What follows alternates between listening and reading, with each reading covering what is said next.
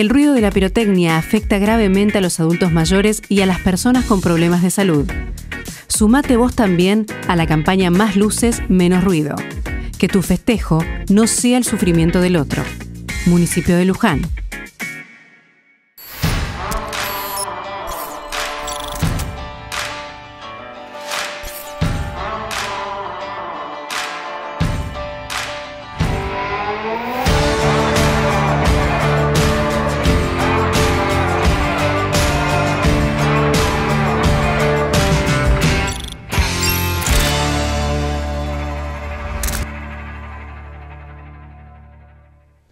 Bienvenidos, bienvenidas a una edición especial de fin de año de Uno más Uno, programa que se emite todos los jueves a las 9 de la noche por la pantalla de Pares TV y queríamos en esta tercera temporada, en este final de tercera temporada, hacer un resumen de todo este año que nos ha dejado vivencias, anécdotas, historias y por supuesto muchísimo aprendizaje.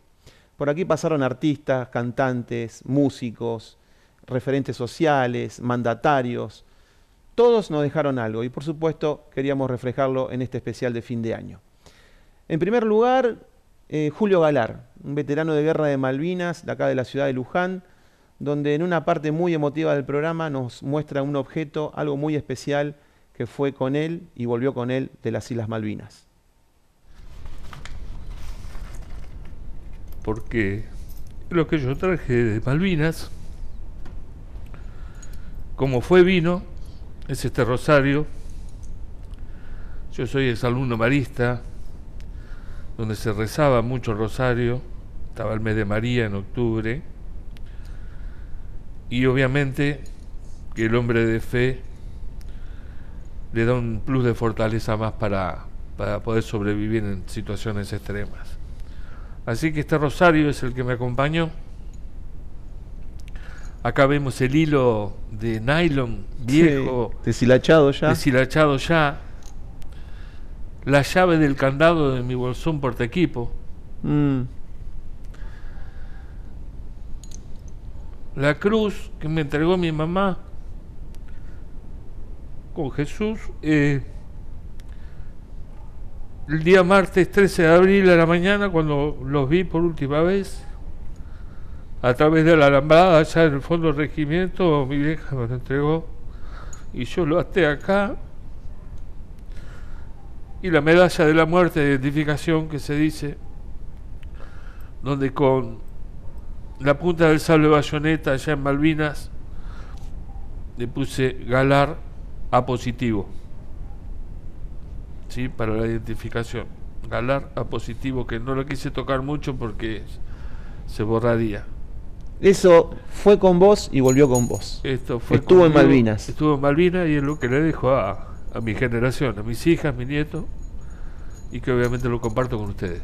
Flavia Porto es licenciada en Letras, estuvo en la segunda entrega de esta tercera temporada aquí en Uno más Uno, y nos dejaba una linda reflexión de cómo ella se encontró y de qué le sirvió la literatura y la lectura desde cuando era muy pero muy chiquitita. La escuchamos fascinación de leer 15 o 20 veces el mismo libro que tenemos muchos, eh, tienen muchos niños y jóvenes, por ejemplo Alicia en el País de las Maravillas, mm. era un libro que para mí eh, me daba la oportunidad de meterme, sumergirme en otro mundo, ¿no es cierto? el maravilloso, que claro, hoy lo veo para estudiar y bueno, digamos, es otra historia, pero que en ese momento esa lectora pequeña eh, lograba escabullirse ¿no? Eh, en, un, en, un, mundo completamente abstracto. Eh, y creo que eso era lo que me permitía a mí la literatura. ¿no? yo siempre lo digo, no tengo ningún empacho, no tengo ningún problema. Vos sabés que yo no me guardo nada. ¿no? viví en una familia muy problemática muy problemática en muchas aristas y leer para mí era una forma no solo de construirme como lectora, sino un, momento de escaparme hacia otra realidad y poder sentir un vínculo casi erótico con la literatura en el sentido de, sentirme en otro mundo y que me dé algo de placer. La médica psiquiatra Ángela Puglia dejó muchísimas reflexiones y todas muy pero muy interesantes. Y como su especialidad es la salud mental, le preguntamos qué, para ella qué, significaba la locura, qué connotación tiene para ella, que es eh, especialista en salud mental, la locura. Me parece que todos tenemos, eh, no sé, niveles de locura, por así decirlo, y en, diferentes niveles de nuestra vida, no sé, no podemos pretender que la vida sea un equilibrio constante, al contrario la vida es la lucha contra el desequilibrio constante, ¿no? Eh, eh repetime esa palabra, ¿cómo es? esa frase. Me parece que la vida es la lucha contra el desequilibrio constante. Yo por lo menos eh, trabajo todos los días para que mi vida sea ordenada, para, para ordenar la vida de mis pacientes, para... Eh, y me parece que todos tenemos un poco de esa locura. Mm cualquier persona, cualquiera de nosotros en, una situación extrema puede volverse loco. ¿Pero es bueno tenerla en, algún, en alguna medida? Yo creo que sí. Carlos Dantón Sepaquercia no solamente lo conocemos por ser el jugador que hizo el gol más rápido en el fútbol argentino, es una historia viva de nuestro fútbol. Jugó en River, jugó en Gimnasia y en un montón de equipos donde fue goleador siempre. En una parte de, su paso aquí por uno más uno, en una divertida anécdota, nos contó de cuando cobró su primer eh, sueldo en River, su primer premio, lo robaron y quién lo ayudó eh, en esa tan difícil situación. Un mago, un señor como persona. Sí. A mí en River, que cuando pierden, perdemos ese campeonato, me tocó ir a cobrar los premios. Fuimos, había un banco Fuimos a cobrar los premios, fuimos al club, nos dan el cheque. Vos fíjate que yo no había jugado las finales. Yo estaba entre los 18. El que jugaba cobraba más. Yo, cobraba cierta, yo cobraba cierta cantidad de plata. Entraron, fue, ahí íbamos a cobrar, salían, salían. A mí me dan la plata, yo no tenía auto. Agarro la cartera, cobro la plata, la pongo en la cartera y salgo. Me la pongo bajo el brazo y salgo a tomar un remis para irme a mi casa. Sí irme a mi casa y venir esa noche acá a Luján, que mi señora ya estaba acá. Salgo de ahí, se me para un auto al lado, revólver en la panza, año 78, época de los militares, que dicen que las entraderas son nuevas. Sí. Dame la cartera, así nomás, de traje y corbata. Claro, yo reaccionando estaban adentro del banco los tipos estos. Te hicieron, te estaban vigilando. estaban pispeando, claro. Los otros se paraban con el auto y se iban, paraban con el auto en la puerta del banco y se iban. Bueno. Te robaron. Me robaron. Quedé así, ¿qué hago? Fui hasta otra vez cinco cuadras hasta el club y les dije para ir a hacer la denuncia. No por nada. Y llego y estaba el pato y estaba el Beto, cobrando ellos. Filiol y Alonso. ¿Qué te pasó? No, no, esto. Bueno, ¿qué, no, ¿qué va a hacer? Pero dígame, ¿qué comisaría tengo que ir? Bueno, eh, dijeron, Juan, acompañalo, pero para antes de acompañarlo, ¿cuánto cobraba este chico? ¿20? Sacá de la caja y me dieron las 20, los 20 que yo cobraba, vamos a poner 20. ¿Lo que te robaron? En efectivo. Y me dieron un diario y me lo metieron dentro del diario. Eso, eh, Salí con, la, con la plata del cheque cobrada. ¿Iniciativa de quién fue? De Pato Filiori y el Beto que estaban en ese lugar. Estaban cobrando en ese momento. Ninguno dijo nada, al contrario, todos los muchachos si yo cobraba 20, yo cobraban 100, vamos a poner. Sí, sí, sí. Les contó sacarse dos pesos cada uno y me devolvieron la plata. Hicieron una vaquita entre ellos. Y, que, y que ese me llevara en el auto y hacer la denuncia. La actriz Vanna Passeri nos contó cómo es ponerse una máscara, cómo es interpretar un personaje, más allá de los estados de ánimo, más allá de lo que le atraviesa en su vida personal cómo es la preparación de un actor o una actriz en tu caso, eh, más allá de todo eso, cómo es prepararse, cómo es ponerse al frente del público sin mediar ningún tipo de inconveniente. Vos le preguntás a muchos actores y actrices y siempre te van a decir lo mismo. Te puede doler la cabeza, estar descompuesto, lo que te pase. Pero vos subís al escenario y te olvidás de todo. Es mágico. Qué bueno. Sí, sí, sí.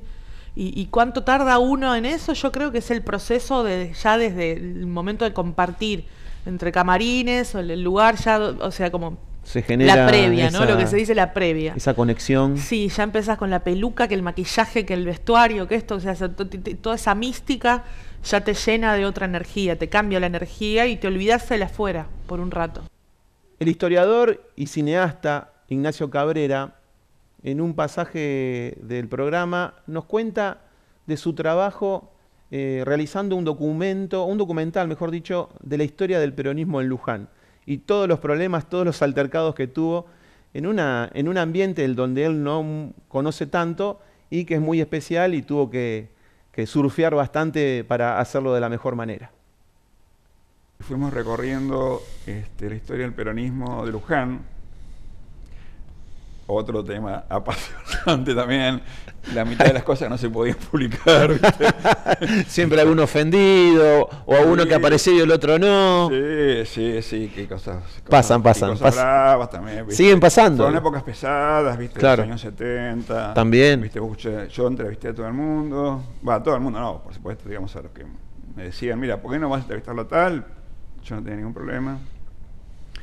Y ahora que lo veo a, Coto, a mí me quedó una... Hace poco falleció. Claro, y me quedó una tercera parte. Fue riquísima esa entrevista, que todavía no la edité. Mm. Y vos sabés que eh, él dijo, yo quiero pedir disculpas públicamente, quiero que quede grabado, porque yo voté la destitución de Miguel Prince. Ajá. Y estoy arrepentido de eso, dijo.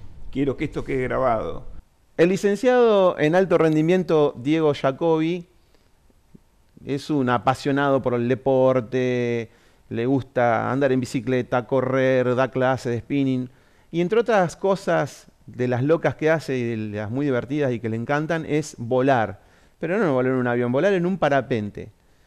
Él aceptó el desafío de venir a este programa, a este living, pero también me hizo una propuesta, adelante de la cámara, que yo también tenía que ir a volar con él. Así que, bueno, quedó documentada la propuesta, esperemos que en algún momento la pueda cumplir. Eh, le cuento a mis amigos, a mi mujer, le digo, ahí arriba me siento como, creo que estoy, creo que estoy mucho más cómodo ahí arriba que en este sillón ahora. ¿En serio? qué locura, ¿no? Qué, ah. lindo, qué lindo, qué, qué experiencia. Sí, sí, la verdad que el vuelo, el vuelo es hermoso. Eh, esta actividad es genial porque yo digo que es la mezcla justa entre, entre paz y adrenalina. Porque por momentos te sentís como adrenado, pero también hay una mezcla, una combinación justa de paz porque nosotros tenemos la posibilidad de poder apagar el motor allá arriba y nos vamos, no sé, a 1000, 1500 metros y apagas el motor y sos un pájaro. La vela vuela, no, en realidad de hecho, el, aterrizaje se hace con motor apagado, entonces... Claro, el, eh, motor lo necesitas prender para subir. Para subir, en realidad, como estamos acá en la llanura, no, no hay montañas para tirarnos, necesitamos el motor para, para subir y bueno, puedes andar todo el día con motor si querés, pero también es muy bonito apagarlo. Claro. Y no sentís ningún ruido más que el viento trabajando sobre el, sobre el ala y, el viento pegándote en la piel. Yo digo que lindo, pero no me animaría ¿Eh? ni, loco. Yo vine acá. delante de la cámara te voy a decir que me, me te voy a llevar. no puedes decir que no. No, puedes decir que no. Bueno. Dame la mano. Vanessa González nos dio música. Nos alegró con su sonrisa, con sus hermosas interpretaciones. Nos dejó un montón de vivencias y también nos regaló una hermosa interpretación que vemos a continuación.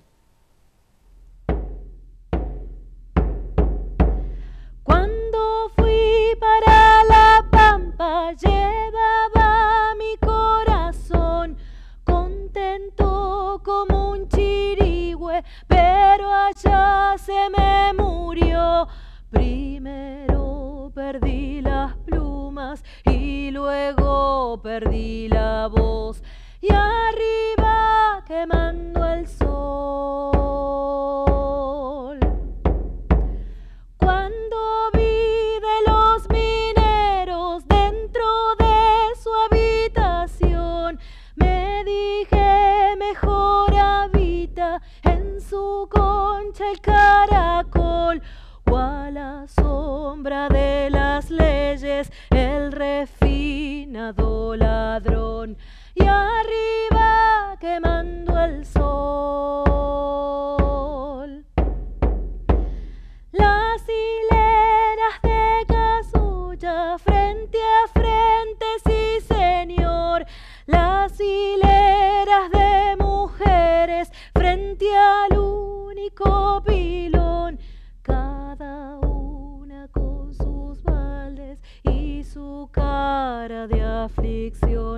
y arriba quemando el sol.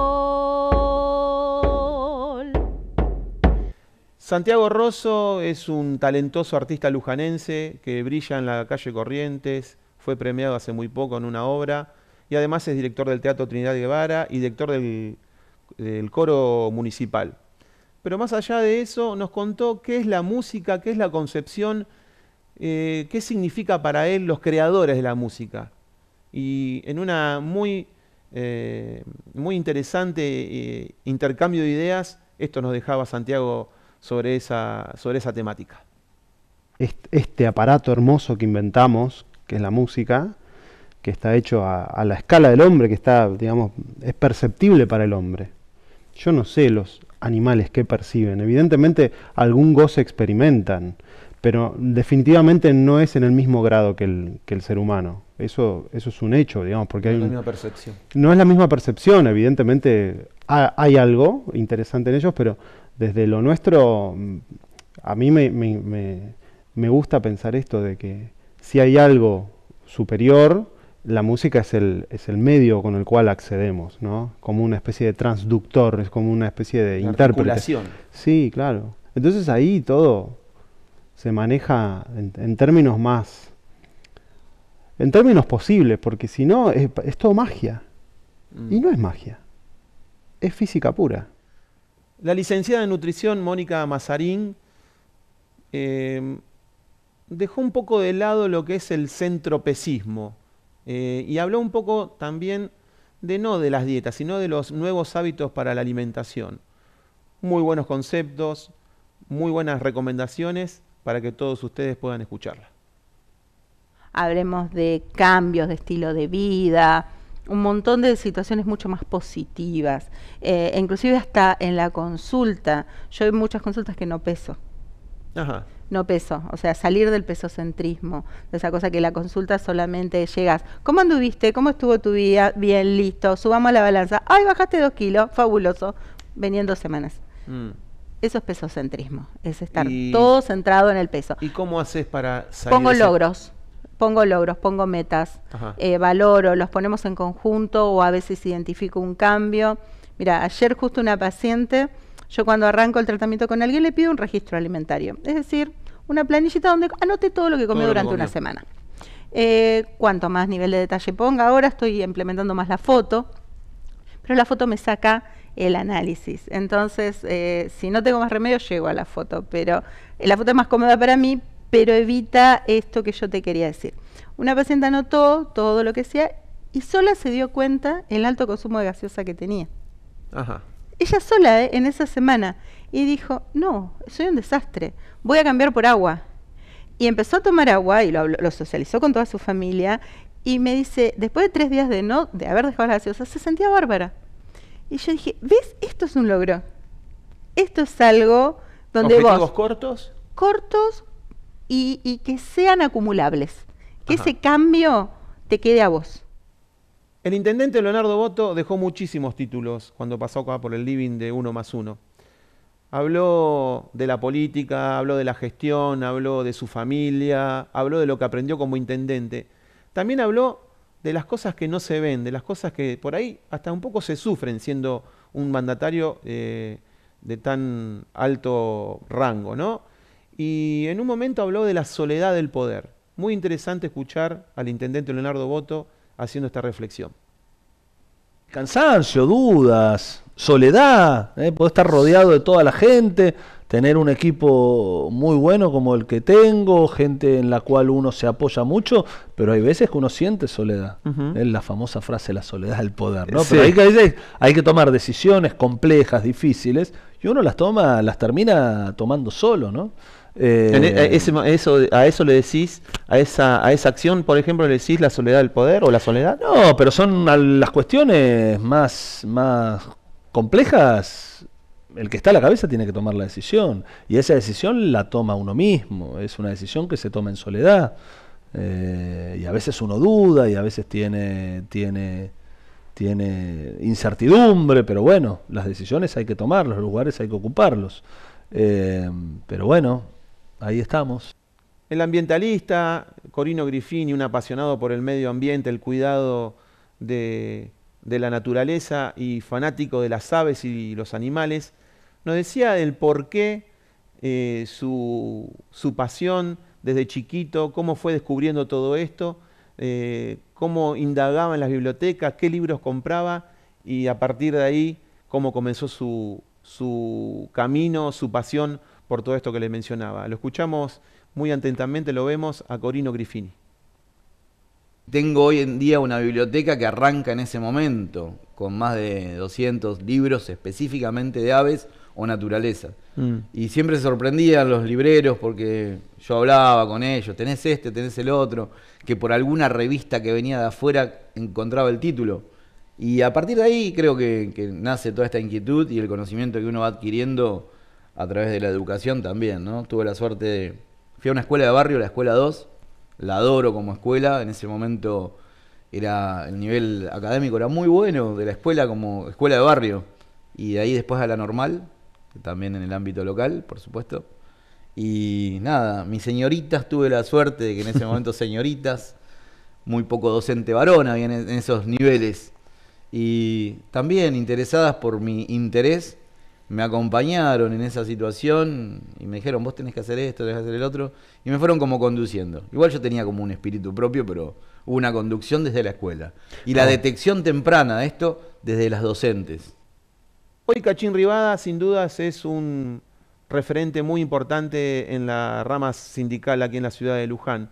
Es una de las personas más importantes en la CGT regional y además eh, tiene un puesto muy importante también en la Federación del sindicato Luz y Fuerza.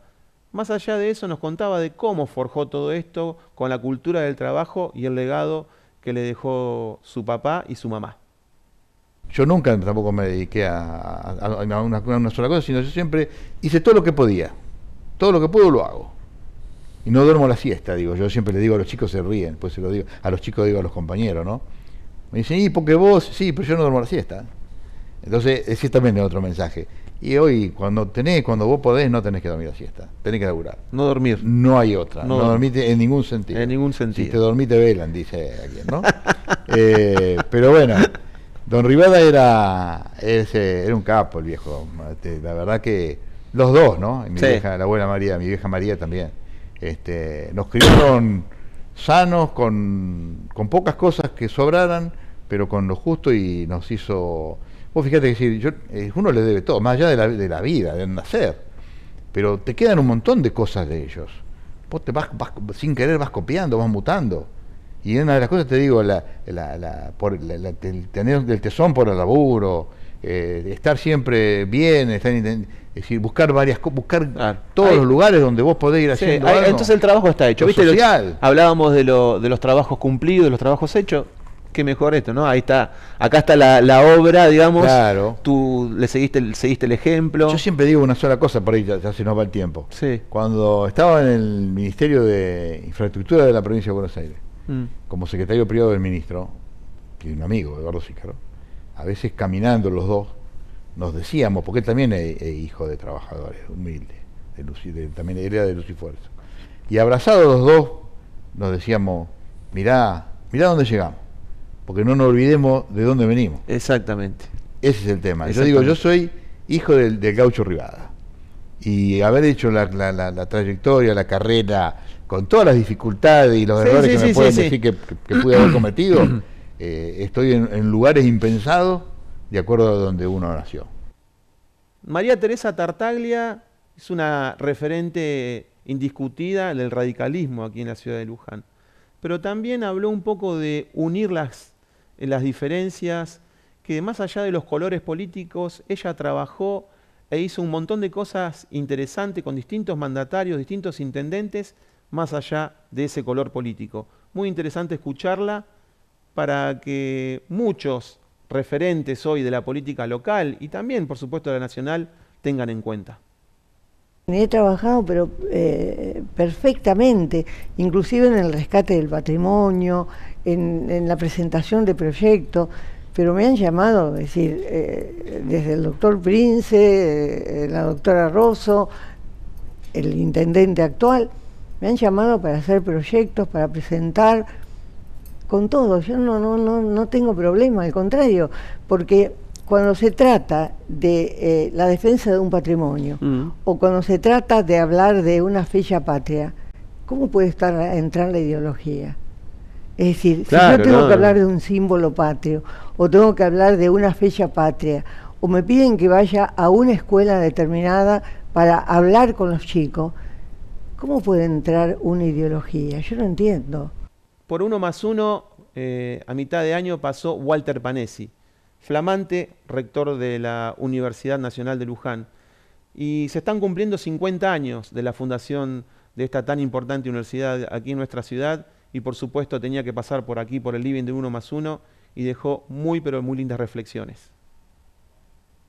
Bueno, Miñón es un, un pionero de nuestra universidad. Hay un libro que es el libro que nosotros regalamos siempre, que es el libro de Miñone, que cuenta la historia de la universidad, pero comenzando justamente desde los inicios de la ciudad, de qué era la ciudad, cómo se construyó, eh, el misterio de la Virgen, cómo la Virgen quedó aquí, cómo diferentes este, eh, militares vinieron a ofrecer sus armas a la Virgen, y a partir de ahí cómo, cuál fue la idea de la universidad, cómo se construyó esta idea de universidad, cómo se peleó para que tuviéramos una universidad en Luján.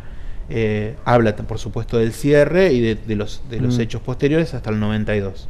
Miñone hoy es un prócer para nuestra universidad, es una de las personas más destacadas de nuestra universidad. Eh, tiene eh, eh, el, el triste destino de tener una, una un, un familiar, una hija desaparecida, eh, pero para, para nosotros Miñone es un estandarte. Por uno más uno pasó una leona.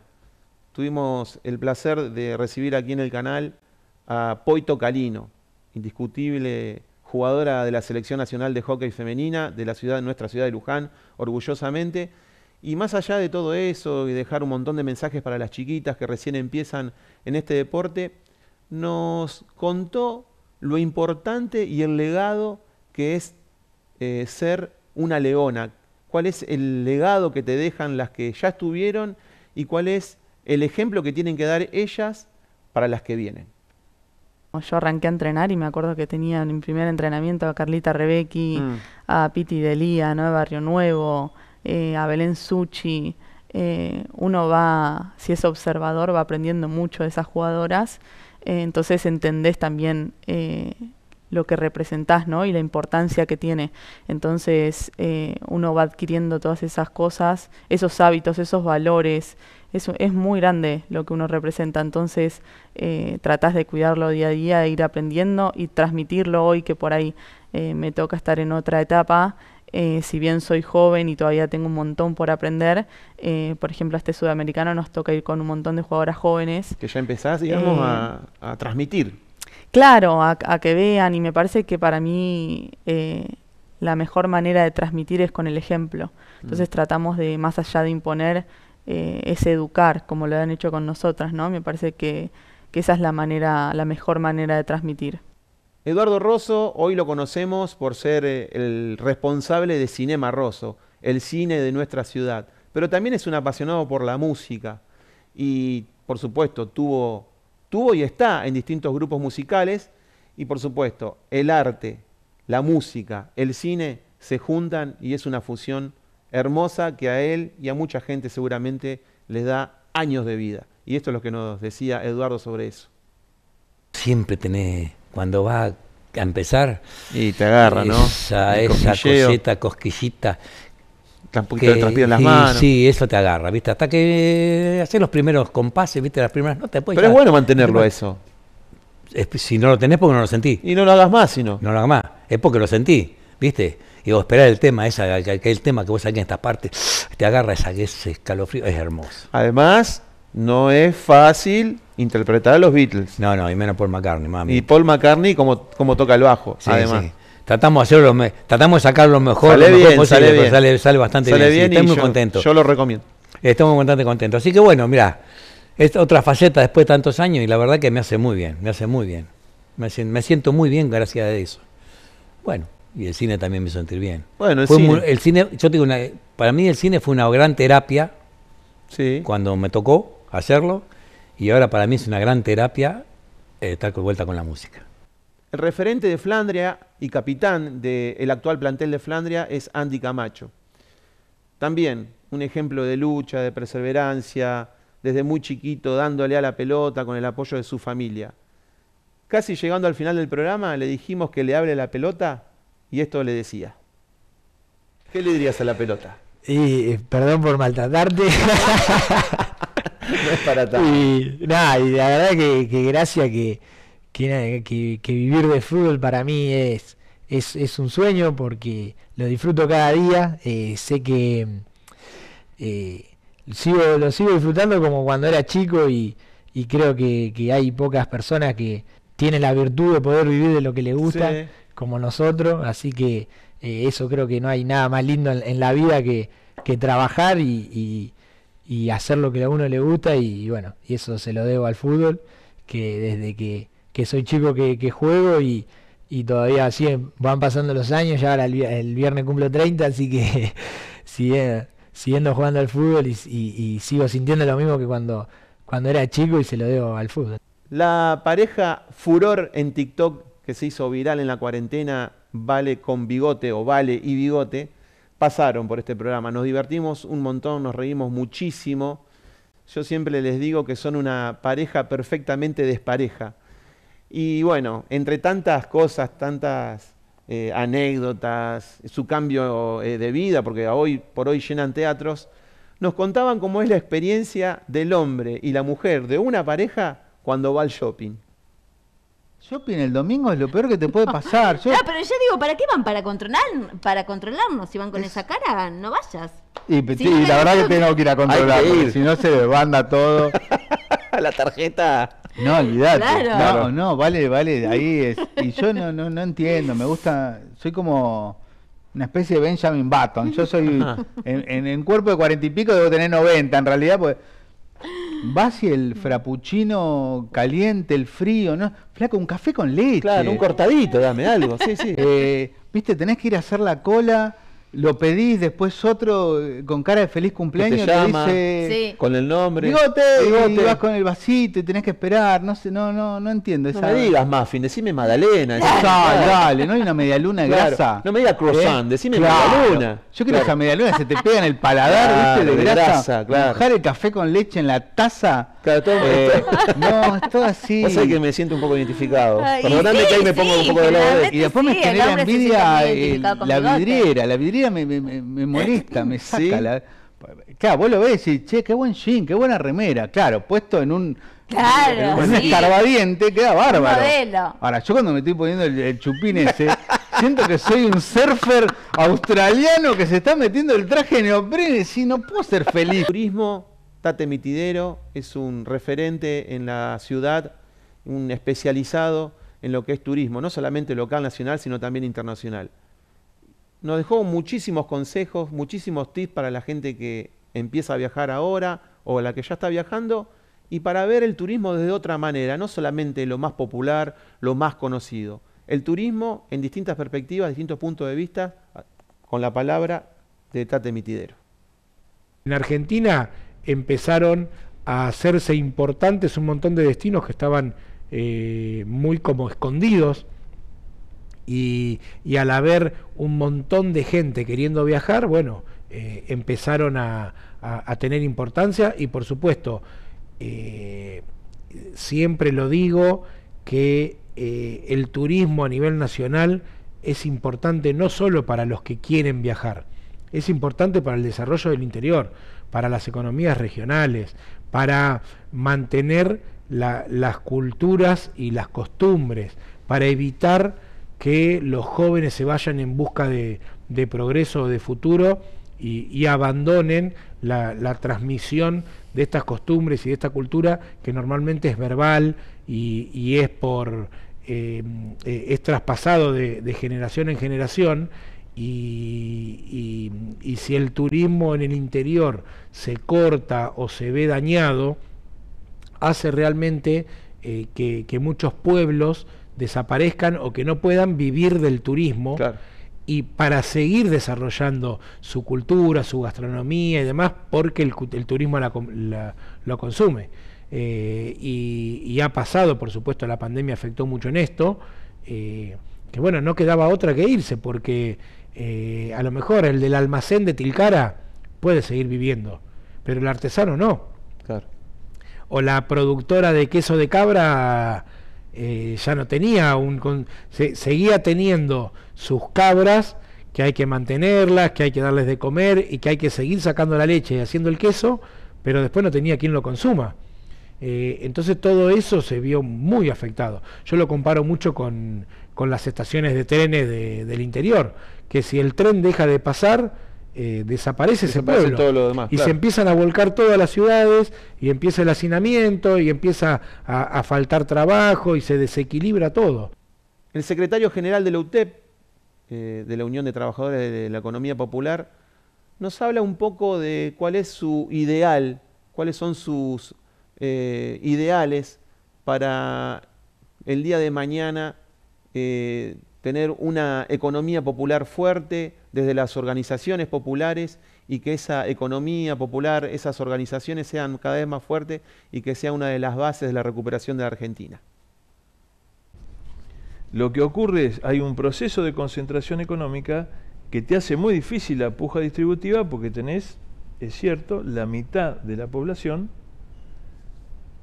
con un empleo que no le, no le garantiza derechos y tiene otra mitad de la población económicamente activa que está peleando, pero que a veces, muchas veces no llega a tener ese sueldo, no le, no le permite llegar a fin de mes. Uh -huh.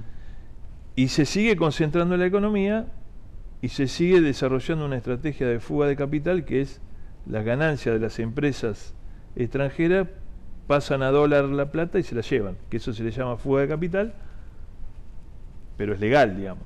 Nada, nada se lo impide. Sí.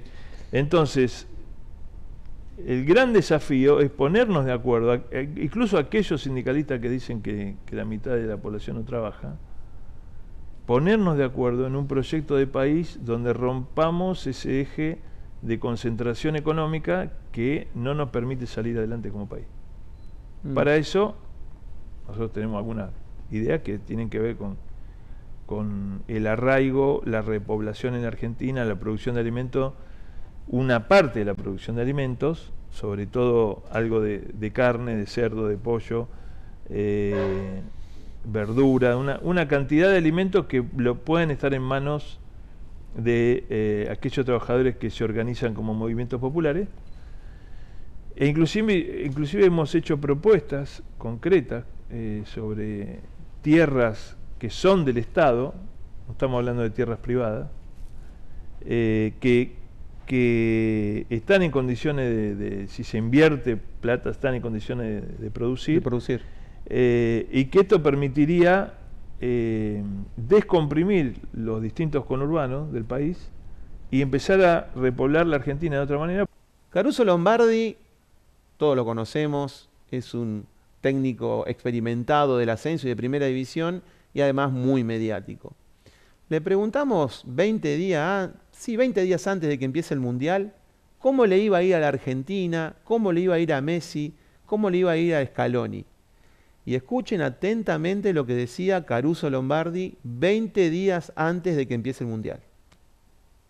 Eh, está más suelto, la cara de feliz la se no nota, sí. no lo ves con cara mala en un partido, sabes que cuando la agarra te lastima. Eh, se lo nota más cómodo, más feliz en la selección que en su equipo. Todas las cosas lindas que nosotros queríamos de Messi, hoy la tenemos. Ajá. Y va a estar cuidado en el Mundial. Eso es lo bueno. Va a estar cuidado en las patadas, en los roces. Mm. Y yo creo que lo van a ayudar a Argentina con Messi. Creo que lo van a ayudar. No tengo ninguna duda, no lo van a perjudicar bajo ningún punto de vista. Para mí Argentina eh, tiene que ser un partido catástrofe para que no llegue a la final. ¿Viste cuando jugás el mata-mata? Sí. Ahí que bueno, que meta tres tiros los palos, que quede afuera por penales. Sí, sí. Pero si no, creo que es muy difícil que Argentina no llegue a, a estar en, lo, en, lo, en, los líderes de arriba. Tiene que ser una fatalidad. Llegar a los siete partidos. Sí, sí, tiene que ser una fatalidad. En su retorno, el flamante técnico de Luján y por supuesto ídolo como jugador, el gallego Oscar Mena, pasó por uno más uno. Estaba recién ahí iniciando su, su ciclo, su nuevo ciclo como director técnico. Y más allá de eso, nos dejó unas muy, pero muy lindas vivencias cuando él era jugador, cuando recién empezaba a jugar en primera división en Platense, pero ya indirectamente, casi inconscientemente, se preparaba para un futuro para irse a jugar a Europa. Que yo jugaba en Cambacén en la B, era titular. Por la mañana trabajaba porque trabajamos por la tarde. Repartía caramelo, chocolatines, todo eso en una furgoneta. Y Mm. por la tarde jugaba en Cambaceres. Cuando yo me fui a probar a. eh, que me llevó un representante unos días a Setia como platense, yo no desentonaba. No estaba al nivel de los jugadores platenses, pero tampoco estaba tan lejos. Claro. Quiere decir que medianamente yo me estaba preparando para eso. No sé si iba a llegar o no. No lo sé. ¿Qué pasó? Que mientras yo estaba en Cambaceres, empecé a mi papá era español. Yo no sé si esto lo conté alguna vez, si no va a ser primicia. Sí. Yo empecé a recuperar papeles, papeles, papeles, papeles, papeles. Me pedía un día en el trabajo al consulado español. Ajá. Juntaba papeles. De repente yo tenía el pasaporte español. ¿Qué lo pensaba? Por si el día de mañana me tocaba ir a trabajar. No para ir a jugar. No. Yo digo, tengo pasaporte español. Si el día de mañana me va mal acá, me agarro el pasaporte español. Como tengo familia en España, me voy, me pongo a laburar y vivo allá. Claro. Me hice pasaporte español, por tenerlo.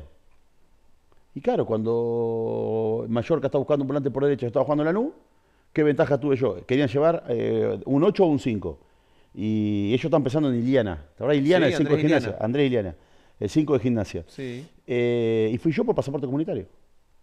Una hermosa charla, una muy, pero muy linda eh, entrega fue la de Esteban Gómez, psicólogo muy conocido aquí en la ciudad de Luján, tiene mucha habilidad para los medios, habló muy claro, muy bien, habló de distintas cosas, habló de la pasión, habló del amor, habló de la amistad, pero también habló de una problemática que se ve cada vez más en los seres humanos, el ego. El ego es, a- es esa este, necesidad que tenemos todos. No, no está mal tener ego, ¿eh? O sea, eh, eh, el- el- eh, volvemos a lo mismo que la pasión. eh, los excesos, ¿no?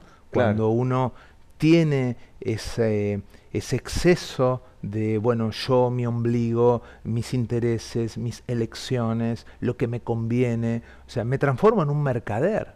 O sea, todos mis vínculos son, eh, a ver cuánto le puedo sacar, a ver eh, qué rédito tengo. Bueno, ahí llegamos al egoísmo. Mm. El egoísmo es esa exacerbación de, bueno, mi altar es mi ego, yo. ¿Sí? No es lo mismo entonces el mal llamado el yoísmo que el egoísmo. Eh, una o sea, el yo es una, todos tenemos un yo. Y está muy bien tenerlo, ¿no? Sí, sí. Este, digamos, esa instancia de, nuestra, de nuestro aparato psíquico, de nuestra mente, si querés, que tiene que ver con nosotros, que tiene que ver con la autoestima, con la valorización, que tiene que ver cuando podemos ponerle un límite al otro, el otro por estructura va a avanzar y va a avanzar y va a decir, no, no, para, para, hasta acá. No, yo te doy hasta acá, no hasta acá. Eh, eso tiene que ver con la fortaleza yoica y también tiene que ver con el ego, porque vuelvo a repetir, ego no es una mala palabra, ¿sí? pasión no es una mala palabra. No, no. ¿sí? El Eh, exceso es el- malo. El exceso. Entonces, estamos en una sociedad que eh, ha exacerbado mucho el ego. Por eso es una sociedad egoísta o egoica, como decimos, este, donde, bueno, este, sepa, date los gustos, la vida es hoy, dale. Eh, a ver, ¿qué- ¿querés decirle a tu vecino? Dale, no te contengas nada porque vos tenés que ser libre y, y sí, querés maldecirlo y anda, anda, porque es preferible, este, ¿no? O sea, yo, yo, yo, yo. Y eso también está trayendo eh, serios problemas, ¿no? Este, a nivel global inclusive. Mm. Y como último programa, como última entrega, tuvimos a la profesora de música y violinista, multiinstrumentista, Soana Spiel. Y por supuesto, uno asocia el violín con la música clásica, con, lo- con algo más, este, música más de, alta formación, de, de muchísima más formación. Pero nos dejó esta canción que está súper de moda.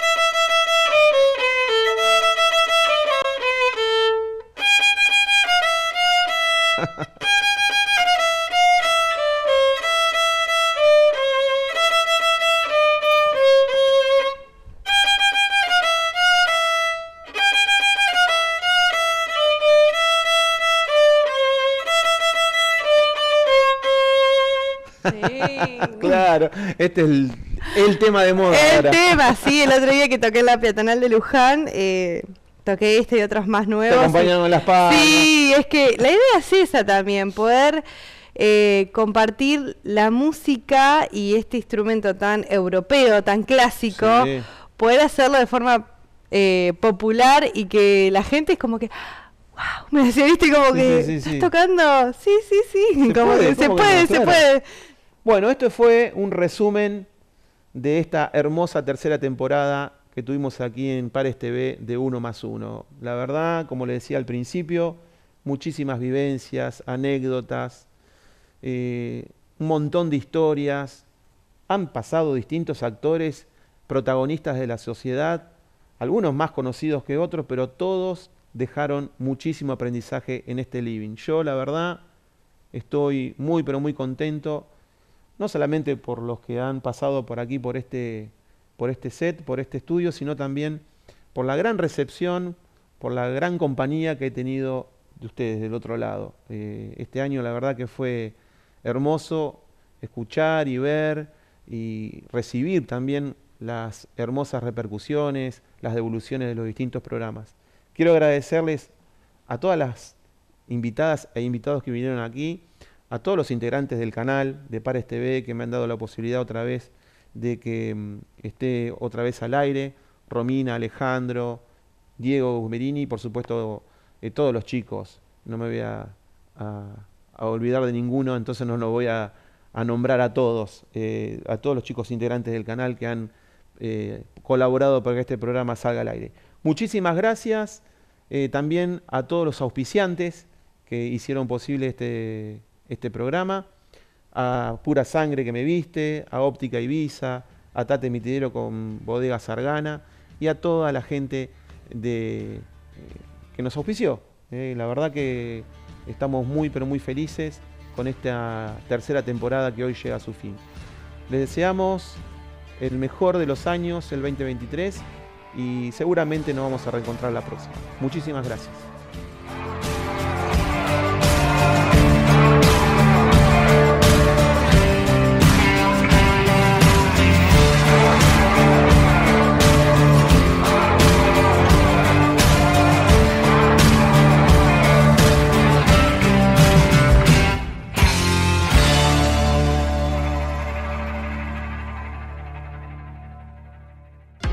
El ruido de la pirotecnia afecta gravemente a las personas con autismo y a las personas con discapacidades auditivas. Sumate a la campaña Más luces, menos ruido. Que tu festejo no sea el sufrimiento de otros. Municipio de Luján.